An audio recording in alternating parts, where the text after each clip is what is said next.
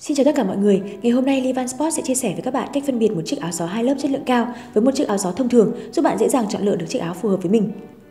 Về kiểu dáng, nhìn qua sẽ thấy áo Livan được thiết kế chỉnh chu tỉ mỉ trong khi áo thông thường về hình thức không đảm bảo tính thẩm mỹ. Ngay khi chạm tay vào chiếc áo, bạn sẽ cảm nhận được chất liệu sản phẩm. với áo gió Livan, chất gió bên ngoài mềm mịn, khi vận động ít gây ra tiếng sột soạt. Với áo gió thông thường, chất cứng khi vận động gây ra tiếng sột soạt lớn. Bên trong áo Livan là lưới thoáng khí với hai lớp mỏng mịn có thể giữ nhiệt, còn với áo gió thông thường là vải thô mỏng. Cùng một kiểu áo gió hai lớp nhưng áo Livan có đường may đều chuẩn chỉnh đến từng đường kim mũi chỉ, có những chỗ giấu đường may tinh tế. Áo thông thường đường may sẽ bị rối, co rút, dễ bị bùng rách. Đặc biệt phần đường may khóa áo, áo Livan với kỹ thuật giấu đường may và phép băng tuya đảm bảo tính thẩm mỹ cho sản phẩm. Phần khóa kéo gần cổ có đoạn vải nhỏ được gọi là gara khóa, chi tiết thường xuất hiện trong các sản phẩm xuất khẩu tiêu chuẩn quốc tế vừa giấu khóa vừa tránh khóa chạm vào cổ khi người mặc có nhỡ tay kéo khóa mạnh cũng sẽ không gây xước da.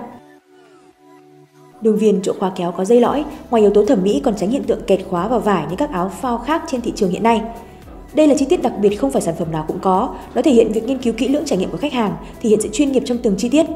Áo thường lộ khóa kéo và phách bánh tuya dù đồng màu với sản phẩm nhưng vẫn không tinh tế. Khóa kéo áo Livan được thiết kế riêng từ nhà cung cấp hàng đầu thế giới với tính năng auto lock, không có hiện tượng trượt hay kẹt khóa. Khóa thông thường không rõ nguồn gốc, kéo bị nặng tay, dễ hóc khóa không đảm bảo thẩm mỹ. Túi bên ngoài áo Livan với kỹ thuật giấu đường may rất tinh tế đảm bảo tính thẩm mỹ cho sản phẩm.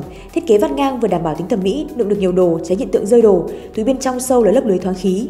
Áo thông thường, túi kéo khóa, lộ đường may, lộ cả phần khóa viền khác màu bên trong, không đảm bảo tính thẩm mỹ, khóa kéo dễ hóc, khó kéo. Túi bên trong nông được làm bằng lớp vải gió mỏng. Bạn có thể nhìn thấy sự khác biệt về kiểu dáng của hai chiếc cổ tay áo.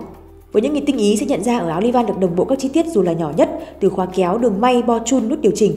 Còn các loại áo thông thường trên thị trường không làm được điều này. Cùng một chiếc áo nhưng có đến 3 loại khóa khác nhau, các chi tiết khác được làm cầu thả không đảm bảo tính thẩm mỹ. Dây rút điều chỉnh độ rộng ở mũ và gấu áo Livan được thiết kế nhỏ gọn, dễ sử dụng. Áo thông thường cũng có dây rút điều chỉnh độ rộng ở cổ áo và gấu áo, các chi tiết không đảm bảo thẩm mỹ. Thiết kế chữ ở cánh tay áo Livan là điểm nhấn tăng thêm phần khỏe khoắn năng động và trẻ trung.